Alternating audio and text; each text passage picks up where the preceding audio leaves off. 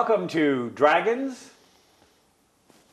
Oh, and oh, look at that. Don't talk yet. Oh my. So, uh, Dragons, Unicorns, and Other Creative Creatures.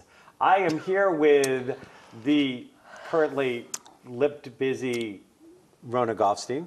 I'm getting there. Uh, and for those of you who don't know, I'm Dr. Kevin. Unicorns, Dragons, and Other Creative Creatures is a show that we have come together to do to support local art and artists of all kind. So I have a unique beginning to the show today Yes. because I wanted to make this kind of like a Mother's Day show in a way. Um, and so we decided we have an artist on who's a mother of some kind. We haven't figured out what kind. Um, but uh, we'll get to that. Uh, we'll get today's guest. guest.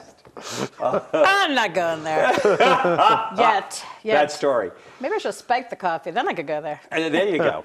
You didn't spike the coffee? What's wrong with you? You see, everybody thinks that this is, I, I just put water in this water bottle, which o- obviously was to match my Mm, outfit that's and lovely. to match your outfit. I know. But, um, and to match your hair. Can you see the purple? See, she's got purple in her hair. Do, do. Is that a, a, a- a purple people eater? It's a, no, because then I'd have only one eye and one horn, and I'd fly. So I'm not a purple people eater. I've seen you fly before. Anyways, different kind of flight. Um, Apparently, what happens in Vegas does not necessarily stay in Vegas. hey, I didn't go into details. Thank This is a family show. Now, um, so uh, Mother's Day is right around the corner. It is. This is our Mother's Day show again. And what I realized is, and I threw this together very last minute, so I apologize to, to you and our guest today because I was like, we got to do something for Mother's Day. And what I discovered was I had written three different poems to my mother in three different periods of my history. And I'm going to kind of sort of quickly, but I'm going to read them. All right. Um, and then we're going to talk about the role of mothers and creativity. Uh, and you are a mother of a creative. I'm mother of two creatives. You're, you're a mother of two creatives, and you're a creative mother. I am. And we're going to talk about the pros and cons of that. I Um, am one creative mother, Uh, and that can be said about our guest. and probably has been. yeah. Um, so the first one, mother. Slowly I come to discover you as if seeing you for the very first time. You step off a pedestal made of love and hate to become human. I see you now for both your frailties and your strengths. I see you now as a person, a person with whom I have spent my whole life with and yet never looked at as a person, a warm hearted woman with insecurities and unsureties of 50 years, special in her own way, is my mother. And I wrote that in 1986 because she was 50 and I was 26. And so that's how I saw my mother at 26. I wrote this one in 2013. Okay, so a fair amount of time had passed. Fair amount of time had passed and the relationship had definitely changed. Mother, I chose to be born of you, to come from you, to be part of you. We've not always seen eye to eye. We have not always had the relationship we wanted. But we've always loved. We've always been there. We've shared deaths and births, been there for the best and worst of times. We've been each other's teacher and student. In anger, hurt, doubt, pain, and joy, our relationship has survived. Not as a holiday relationship where we smile, telling each other only what we want to hear. You have not always liked what I have had to say, but never once stopped loving me. I have not always liked what you had to say, but never once stopped loving you. I choose you to be born of you, to come from you, to be part of you. I choose well. Definitely some different energies from the first. And then I wrote this one this morning. When I decided to Mother's Freshly Day- squeezed poetry. freshly squeezed poetry. I decided to Mother's Day, and I'm like, okay. So the, the other one was 2013. So this is only four years later. Struggling, I watch you fight for what you have left when so much is behind you. You have married husbands buried children, gone from being codependent to fighting every day to stay independent. Maybe you can't dance like you used to, but you still dance. I respect, no matter how difficult, you still dance. You forgot more, you forget more, and may ask more than once, but you still ask, you still want to know. You want to help, you want help, but you refuse to be a burden. You want connection with what's left of your family, but refuse to come home. You have decided to die there, living with the same man for almost 50 years. You will do it on your own terms, as in your own way you always have. Perhaps I am more like you than I thought, for I suspect my choices would be the same. So, those are my three tribute poems to my mother. It's interesting. It's interesting, especially the first one, because um, you wrote that for her when she was the same age I am now. So it's interesting to think about a son looking at his mother at that age. And And I was a little older than both of your sons. yes, you were. Yeah, because I had my children later. Yeah. But that was the age when I said, my mother is more than a mother. My mother is a person. Yes. There's a person here. Yes. And that is a person who I'm not always, I'm going to love, but I'm not always going to like. Yeah. And we're, and, and we have our struggles. It's not a requirement No. to So- like some. I mean, it's hard to like someone. I don't even like myself all the time. So um, I'm going to bring into our conversation um, our today's guest. Oh, good. Who um, I actually invited to be today's guest before I decided at the last minute to throw everybody a curve and do a Mother's Day show. Whee! Here comes one from left field. I like to know that we're flexible. we just switched the Absolutely. yin and the yang side of the dragon, and the unicorn's laughing. Uh, we're welcoming Matt Connarton. Matt has been a regular, uh, has been on Web of Light a couple of times. We did a sp- show special, and then you came on again. Um, uh, she, Matt is the founder of IPM Nation, uh, which has both now got a radio component and a TV component, both on the internet. Uh, Matt is a is a uber creative of his own. Um, you know Matt only by phone and voice. By phone and voice and face, not in actual physical form.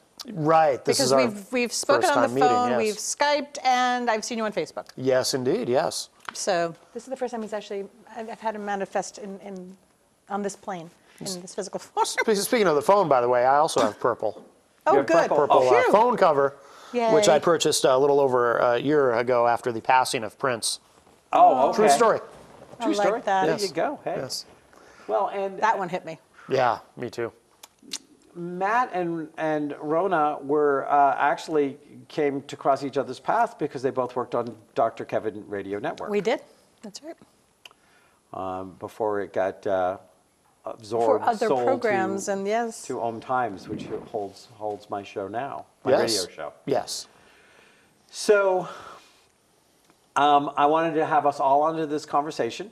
Um, I do want to, Matt to share some of the ways his creativity plays out, but I'm sure we're going to have Matt on again at some point. Goody. Always pretty good about coming and showing off his face when I ask. I shaved and everything. Wow. Yes. See, It's more than impressive. just one a mother could love. Okay, there you go.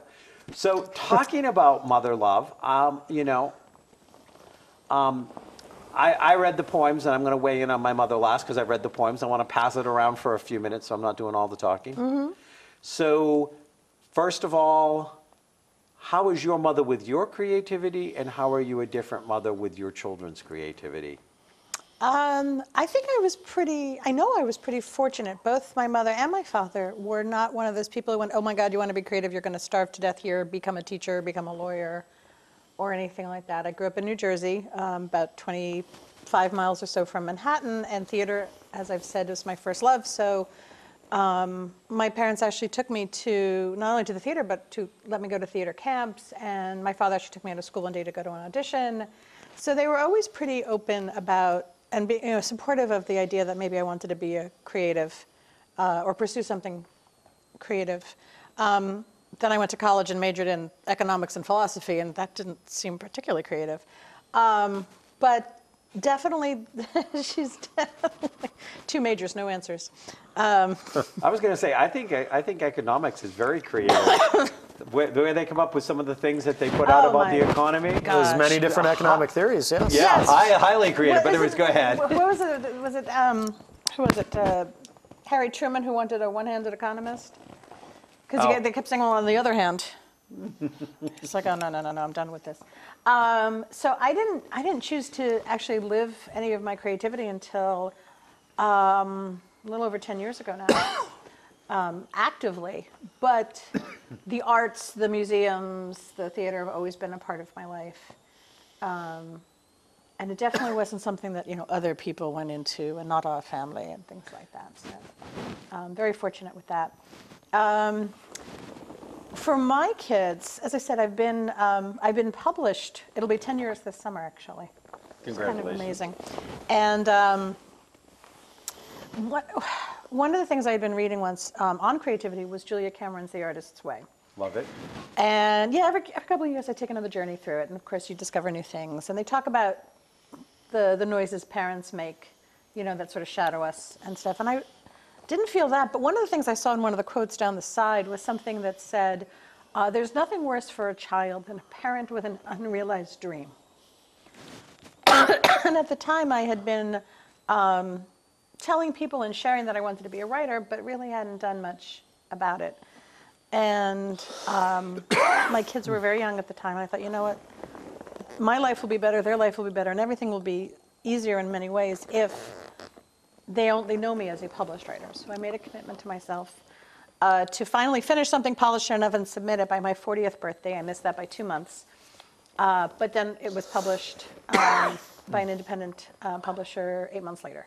So, you know, my oldest is now 17, my youngest is 14. They've almost always known me. Most of their memories include me as a published working creative. Um, and they've always known that they, they had the support Now to do that. we've had Max on the show. We have, yes. Um, and he's shared his creativity. Now, how does Ethan's creativity play out? Ethan's creativity plays out in a couple different ways. First, in the kitchen. Um, he's actually a really good cook. He's a better cook than I am. That wouldn't necessarily take much, but he's definitely a better cook than I am. Um, he uh, he loves doing, so he will watch shows. I mean, he's been known to to watch, you know, a, a series of shows on the Food Network and then start creating rubs in the kitchen out of whatever spices he can pull out of the the cabinets and things like that. He's also an entrepreneur, which has been very creative for him in choosing what he's a thrift an online um, thrift resale business. So in choosing what clothes to sell, what sneakers to sell, how to present them, how to photograph them, um, how to write the descriptions that will get them noticed. Um, and make the sales. And when I left, he literally had a pile of boxes this high that had to go out. I think he had seven different purchases from last week that needed to be mailed out. So that's been a very creative Good. place for him and a very big focus. Matt, share some of the places. I mean, we know that you are a radio show host, a talk show host, a TV talk show host. You, I mean, and those are actually very creative roles. Mm-hmm. But share some of the creativities that people aren't necessarily aware of how you're creative. How, oh, that's a broad question. I should have let her ask it then. Oh, I am a god. I see what you did there. You do. Isn't that good? See, the coffee's all kicked in then. Yeah, there you go. I am a hypnotherapist, and my mother actually uh, hypnotized me a couple of times when I was a kid, which kind of piqued my interest in it. But years later, I went back to it. It's funny. Usually, when I talk about my mother, because I'll, I'll mention I've mentioned my mother on my my show, but it's usually when I talk about her, it's in the context of uh, many many years ago. I went to a psychiatrist. And uh, my experience with the psychiatrist was exactly what the classic sort of cliche is. So tell me about your mother. Right, I had to lie. Yeah, literally. It's old, I, if it's not one thing, it's my mother. I had to lie on a couch and talk about my mother for an Oh, hour, and I never went back. but she was always very supportive of all my creative endeavors and whatnot, even though we, we live in different parts of the country. But, uh, but she was always one to really encourage me to do whatever it was that drove me um, and never discouraged me from anything. Now, you, uh, when you do your hypnotherapy, you do you do stock um, hypno suggestions, or do you create your own? Oh, I'm very creative with that. Yeah, that's a great question because. Oh, gee. Oh no, the because. Well, I'll tell you, when, uh, when I first started, um, I went through the, the National Guild of Hypnotists, and, and they give you these scripts to read. You know, like they'll give you a stop smoking script and a weight loss script and a, a stress reduction script and whatnot. And I would use them in the beginning uh, when I first started doing private sessions, uh, which, you know, is fine, and there's nothing wrong with using them. And I'm, I'm very good at reading aloud. So I could read them as though I was just, you know, saying the stuff. It didn't sound like I was reading from a paper. But now, today, uh, of course, I, I don't read anything from a script. I just, you know, when I sit down with the, the client and they tell me whatever it is, usually a series of things, they might come to me for one thing and I'll say, well, what else do you want to work on while you're here? So I'll have a series of things to work with, and I, I get pretty creative with the, uh, with the hypnotic suggestions that I give them during a session. I'll bet what they originally come in for is only a tip of the iceberg. I mean, what you Yeah. think what you think you need and what you actually need or want sometimes is Yeah, and there's usually more stuff related to it. You know, if they're coming to me for quitting smoking, which is what I do by far the most of, you know, then we'll also tackle, well, what are the things that cause you to smoke? What are the things that are Right. stressing you out, et cetera. So, yeah, and how maybe not to gain weight after you quit smoking. right. That's a big one. Yep. Yeah. Because I was on Matt's show and he demonstrated hypnosis by doing hypnosis on me. I've never um, had it done. And I listened to that for months afterwards. I Good. taped it and I listened to it for mm-hmm. months afterwards. And then at some point my life shifted and I stopped listening to it. Um, because I've, I've told you I'm going to come back. I'm, I'm going to come back on your show at some point just so you can do the next set of hypnosis. You know. Yeah, yeah. That way I don't have to pay for it. No, um, uh, Professional courtesies. Um, but uh, so I so I knew I it was kind of a setup question because I knew that you were creative because Yeah. you took the stuff on the air and let's talk about pressure here. Here you are Oh, on the yeah. air live, and somebody's throwing stuff at you and you have no idea. None of that was pre-rehearsed. Right, You had right. no idea, and he's just like immediately like, okay, mhm, yep, oh yeah, boom. And I was like, hmm, that's impressive. Ten, ten years ago when I started, I wouldn't have been able to do that. No, you'd freeze up probably or Yeah, yeah. So, but you also have some music creativity, do you not? I've been in quite a few bands. I've written a lot of songs. I play bass. I've done some production. Yeah, yeah. Uh, and when he just kind of, that- he just kind of, couple of bands. yeah, Yeah. yeah, yeah, and, and I've written a few songs and like, uh, yeah. Yeah.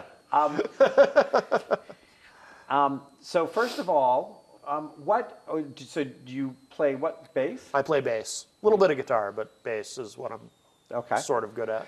And what kind of genre uh, uh, have the songs been? I've played in a lot of different kinds of bands. I've played in some hard rock bands, some metal.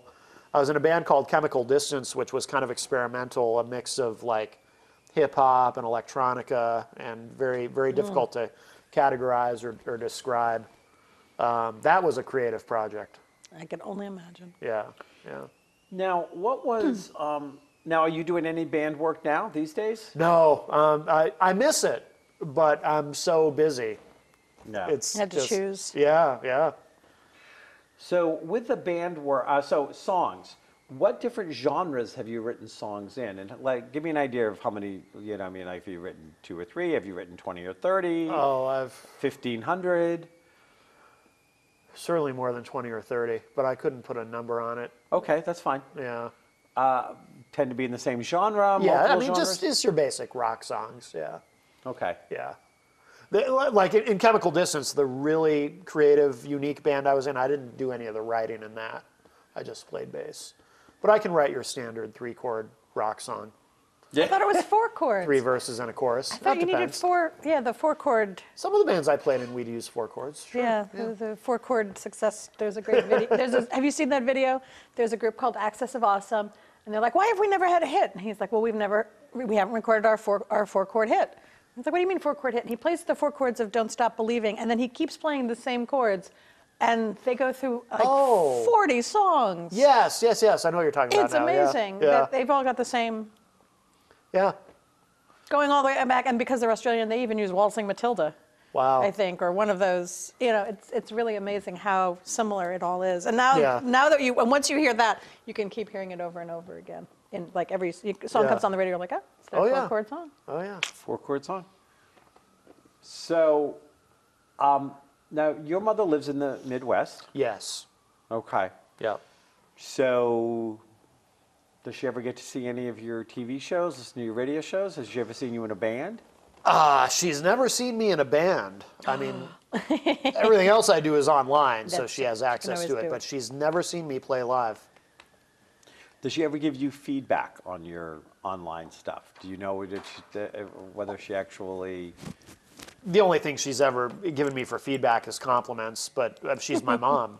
What else would she say? Unless she were a bad mother and said something mean. And then I wouldn't call her on Mother's Day if she did that, because I'd, I'd be like, what a bad mother. She's mean. Yeah. I will not tolerate a mean mother. Oh mean mother. Got it. I told her that too. Well, you know, uh, as I did this mother, you know, I read the, the different poems. Obviously, it was kind of clear my mother and I have struggled occasionally along the Yep. way. Mine Yep. too. Um, and I, you know, and I have a couple of uh, mother, quote unquote, mother stories. And I want to say this I do love my mother. I, I, for a long time, everybody compared me to my father, that I was very much like my father, Same. Papa, Yeah. that I always talked about. Your parents are both still alive, correct? Papa had, no, Papa passed in 2007. He did, okay. Yeah. My mother and stepfather are together. And Gotcha, okay. And they've been together for like 48 years now. Okay. So, you know. They're in Florida, right? Yep, they're in Florida. Okay. That's where she's choosing to die, um, uh, as far as I can tell. And I don't say that with any like judgment or issue. It's just you know, No, that's her choice. that's her choice. Yeah. Um, and I do think that it's that it's really hard for adult children sometimes when they have to not agree with a choice and they know that their parent may not be as with it as they used to be mm-hmm. or as on the ball as they used to be. I mean, that's a struggle there It is. Mm-hmm. you know, which is part of the struggle here, where, you know, I, I, I went from, you know, when she was 50, struggling with her to at, you know, now she's in her 80s, I watch her struggle Yeah. Yeah, it's a And- big change. and, and seeing that thing. But my, my mother, um, interestingly enough, because like even that first poem I read, it was like, you know, I see her for her frailties and her insecurities and things like that. So like when I wrote that poem for her and read it to her, she was a little less than pleased. Really? Well, she was still at the stage where she wanted to be seen as perfect. Well, it wasn't that she wanted to be seen as perfect, but I don't think that she actually wanted her her child to say that she had frailties and insecurities Right. and she was really human, uh, you know, like that. And and you know, so I and I realized that. And back when I was you know, in my 20s, as we all, uh, or most people do in their 20s, you're still in that a little bit of like it's all about me stage. Oh, yeah. Where you're kind of like, because I wrote this wrote this poem, and I'm like, you know, what mother wouldn't be pleased if a child wrote her a poem? Wrote a Right. poem about that would be a great thing. Right. But I would keep on talking to people in the family and friends, and they'd be, oh, you wrote your mother a poem? She didn't say anything. She didn't say anything. She didn't say. Well, that's because she didn't like what I said about her. Right, right. and and so I took it as kind of okay. There's a mixed message from my mother about my poetry, but that never stopped me from writing it. Yeah. Um, because when I was 19, my brother got killed, and I had written. She had me write every year on the anniversary of her death for about five years. She'd asked me to write a new poem for him that she would publish in the paper. And Oh, after wow. like five years, I was like, I can't keep doing this because Really? it's like I have to relive Yeah. Yeah. That yeah. trauma. you know, five years have passed. Where would you be now? And I was like, I, I can't. So she was always about the poetry that was not about her. But how did she react when you told her you couldn't keep doing that? Um, she had an interesting. She was kind of like I. She kind of understood, and she's like, you know, I don't want to push you and stuff like that. And she just backed away. She didn't. Well, that's good. She didn't give me a hard time. Yeah. um, at all. And as and she was always interested. She was always semi-interested because poetry was not her thing. She wasn't a poet fan. Right. So that's always hard, That and that's a hard for a mother. If Yeah. you're if you're not into poetry, Right. yeah. Oh, I mean, my older son, in addition to the creative stuff, is a phenomenal baseball player, and, and he'll explain things, and he'll do things like, is this okay? Are you interested? I'm like, it is fascinating to me that you are this passionate about it, but if you think I understand all of it, maybe Right. you're going to have to repeat a few things at some point. Yeah. So yeah, it's just, it's who we are. We're, we're, we are, I mean, I think it's one of the things you brought out in the poem is there comes a point where you realize how a separate, how separate a person you are from your mother and your parents and, and all of that, that upbringing. Yeah. Um, and it's interesting, she may not have liked the poem, but you know, I, I heard you read it, and as as a mother, I heard the child. I mean, I didn't. I yes, I see the mother's perspective because I kind of can't help it. But what I s- saw and heard in that poem was not about her, but about you. How your relationship with her was evolving as your relationship with yourself evolved. Yep. Absolutely. You know, we have to. There are adjustments to to be made. You know, one of the things I do is I mentor poets. Yeah. Uh, and I've mentored a few poets through the years and helped them bring a book to completion Mm-hmm. or whatever. And there's always this thing out there of, do you go back and change something you wrote five years ago or 10 years ago? Well, that's funny because I just ago? rewrote. A, I'm rewriting a book to be published this summer that I wrote. It was published five years ago, so yes, on some levels. Well, you know, on a novel that's different. That's fiction. I think in nonfiction, no, I think there's something special about what it was and where it was. Which is why I won't change poems. Yeah. I might go back and rewrite a book. Yeah. Yeah. That would be a different thing. But a poem is a marker in time. It would be Of like who I mean, you and you are. write songs, which is also has a poetic aspect to it, as far as you know. I mean, I don't think. I mean, I've seen song lyrics that, when you take away the music, could easily be read as Right. As It's, it's, a, it's a poem when, when there's no music. Yeah. Yeah. Yeah. And and I mean, have you gone back and changed songs or thought to? Or? Yeah. I, I, I think in terms of uh, how musicians view songs, I think it is a little bit different Mm-hmm. because musicians rewrite songs all the time. That's interesting. Uh, we got to make this more commercial so it'll be a hit or whatever. oh well, yeah. we gotta sell out. That's not that's not unusual. gotta- so I think no, it is a I'm little kidding on the different. Yeah. Yeah. it depends on who you're writing for. Like I've, I, Yeah. I, I write songs and I've never tried to get a song like accepted anywhere or I've never tried to like produce it out or things like this. Um, driving force. I mean, I did, I did, was actually asked to write a song for, a- for a Broadway show and I wrote it and then the show didn't end up happening. But I wrote a specific song with a which, which is really weird because I'm not really a songwriter, but you know that that but it, it was part of an extension of a conversation. Right. And so I kind of wrote the song, and they wanted they were going to use it, and then the show just didn't happen. Um, but uh, so it's it's kind of bizarre there. But I might more likely rewrite a song depending on if I was trying to make it fit into something. Right. Yeah. If I was going to take one of my songs and say that would be a perfect song for like a script I was writing and I wanted that song to be in there. Okay, yeah. I might then change it to reflect the movie Mm-hmm. versus where I was in that point. Right, because then it's not for you anymore. Yep. And it's not there to express something you were feeling. It's there to express something a character is feeling or whatever, and that's a little. Then it moves into fiction almost. Yeah. Almost. Yeah. Well, and then you go back. Who are you writing for? Right. Are you, if you're writing Right. for an audience, you adjust for the audience. Yeah, to an extent. I yeah. never, wri- I, I rarely ever write poetry for an audience. Yeah. I always Right. write poetry for myself. And it shows in the fact that you've had three different poems from different times. I mean, why go back and readjust something? Why not take the time to experience it again and from this new perspective? I mean, that's a gift to yourself and potentially to the person who reads it, but definitely to yourself. Yep. You know, how have I changed? How has life changed? How is my the old uh, Mark Twain quote? You know, when I was is it when I was 21 or 14, I thought my father was an idiot, and when I was 28, I couldn't believe how much the old man had learned in seven years. Right. Yeah. Yeah. Yeah. You know, and then we get to to see some of that, and you get to you, know, you as the writer get to experience some of that, and then we as the reader get to experience it as well. Well, you know, one of the things that people don't always get about parents, and when we get closer to Father's Day, I've written a t- I I wrote a ton of poetry for my father, versus the the the three markers from my mother, which again is an interesting comment on the relationship. Yeah. But um, when my first book came out, and it was a very woo-woo metaphysical book, and it was right out there, and it was cutting edge, and it was pushing envelopes. And I told my mother that I had written uh, that my, my first book had come out, and I told her that I had. She was one of the people I dedicated the book to. And her first response was, "You didn't use my name, did you? I don't want people to know you're Oh my related." to me." goodness. Really? That's, Really? Ouch.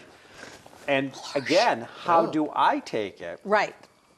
Versus figuring out that from my mother, she struggled with a lot of the stuff. She struggled with my sexuality, she struggled with my creativity at times, she struggled with my spirituality, and she, you know, she has a different last name, and I didn't. I just said to mom, and she was Oh, okay. relieved Yeah, yeah, yeah. that I didn't use her name because when I actually tried to talk to her about it after I got through the ouchie, Yeah. Which would be the first response, Yeah, that's It was- that is definitely a she was Yeah. like, I wouldn't know how to explain that book. If my friends saw, I wouldn't know how to. t- I, I wouldn't. I, I just. I can't. Right. yeah. It had no reality in her world. Mm. Right.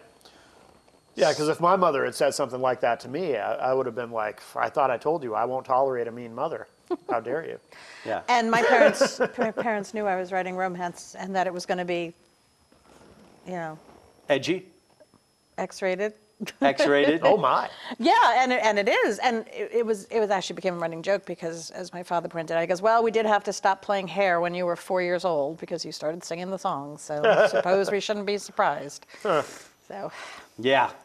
Well, and again, you know, your your parents, and again, you know, the, the the lovely thing is, by the time I wrote the second poem, I was really clear about the fact of this is a reflection of her mm-hmm. and her time and her age Yes. and her upbringing and you know and and i had a conversation with her at one point and said you know it really hurts that you're not proud of me and she goes what do you mean i'm not proud of you i'm very proud of you Yeah.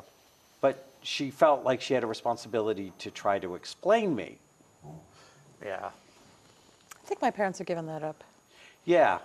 Well, I've given up trying to explain my kids. So well, and that's just part, and that's part of it. That's We- part of our our growth from Yep. you know being parented one way to becoming parents or to becoming just adults. You know, and the type of adults that you know I certainly bring my children to see and that they are connected to are ones who don't stop and think about their age or how they choose to be creative or or any of those things. I think that part of it is, and and it's, you know, you can you can. You know, you see all those cute videos of like the animals that adopt another, a completely different kind Yeah. of animal. Yeah. Yeah. and it's just really cute and you look oh my god you know there is a you know there is a mother cat you know and it's feeding a lizard baby or something Yeah. whatever Yeah, yeah. and you think that's really great and it is but there's a time when they're both adults where maybe they won't kill each other or they might have you know been predators but there's going to be a point in adults where they're not going to be hanging around a lot together No. anymore because No. they have a different thing. And so one of the things is, and I say this actually as a salute, in a way, a salute to mothers, um, and some insight for children who struggle with their mothers, because I've struggled for a lot of my life, and I don't, I don't have that struggle anymore. But is they get, you know, you don't have to explain them. They don't have to explain you once you become d- adults. They get to go their way. You get to go your way. And you have to find the places where you cross. Mm-hmm. And it may only be, I gave my mother a choice once uh, early on when she said something that was very hurtful, the mean mother thing. Yeah, yeah. And she didn't say it to be mean, but I said, Do you only want that? And that was the reference in the poem. If you want, uh, because you've already lost one child, I won't completely dis, uh, you know, like walk away, but, But- I'll become a holiday child. I'll show Yeah. up for the major holidays.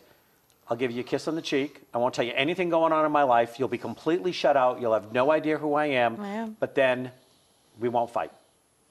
And she came back and she goes, No, no, no, no, absolutely not. Mm. Worth the fight. Yep. Good, good. And that's an interesting thing when you can actually make that decision actively. Yeah, it would be worth it to, to fight with my child or for me to fight with a parent than to not have them around or to not have the, Yeah. the whole relationship. My mother had a thing about wire hangers. She used to get Did intensely she? angry about She didn't wire like hangers. those? You know. No. Mommy dearest. Mommy dearest. Mommy dearest. Ooh, that is a scary scene. Yes. So here is the here's a million dollar question. Wow. Million bucks. All right. Only Do we if have you the get budget for this? only only only if you get it right. Oh, Oh, gosh. There's it's always a budget. catch. And do I tell you before or after the question that there's no right answer? I kind of figured That would be the catch. that's something my mother would do. There you go. Yeah. Um, so both your mothers supported some kind of creativity in you in some way, yes? Yes. Okay. So looking in this moment, do you have the relationship with your mother you would like to have? No. I never see her. She's 1,500 miles away. Okay. Would you, would she ever come out here? Do you ever get an opportunity to go out there? Is it not? I haven't. Uh, it's hard. It's hard for me to. Uh, I mean, I have gone out there to visit. When I was a kid, I'd go out every summer, and then as an adult, it got to be less and less often. And it's probably been 10 years since last time I went out there. So you were not raised with your mother? No, uh, my parents split up when I was. I think I was six or seven. Okay. And my mother moved back to the Midwest a couple of years after the divorce. So then I would, I would, the way the custody arrangement then worked is because my dad won custody of me, which is kind of unusual, but For the time, yeah. yeah, yeah. Long ago. But uh, so then I would, uh, I would go out and spend the summers, summer Okay. vacation with my mom in the Midwest. Okay, so that's also a very different relationship. Yeah. Do you think that that relate, having a very non-traditional relationship with your mother ever fed any of your creativity? No, I've never seen any particular connection there. Okay. I think the psychiatrist asked me that too. No, I'm kidding. She didn't. You- it was normal for you. I mean, Right. it started at six or seven, yeah, this, this was normal. Exactly. Yeah. Yeah. Yeah. Normal. Setting on a drug. And everybody remarried, and I just ended up with a bigger family. Yeah. Yeah. And that became what worked for you. Yeah. Um, I have, I would say about 90% of the time I do. I have a very good relationship with my mother. She's in New Jersey in the house I grew up with, with the father I grew up with. Good. They have been married um, over 50 years. Um, it was 50 years in 2012, so going- 55? 55 years this year, yep. Um, and they were together seven years before that.